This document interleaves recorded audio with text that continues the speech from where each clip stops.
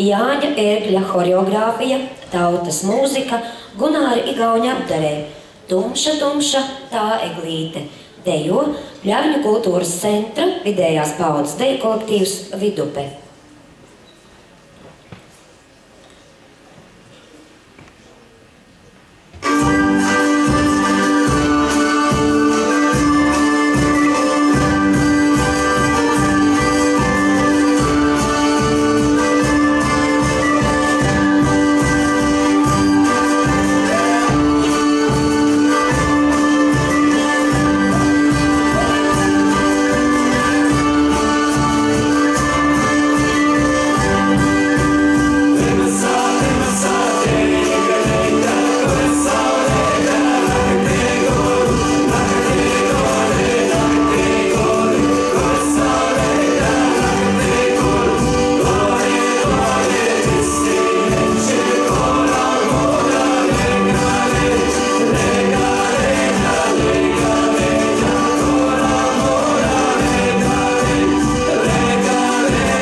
Since the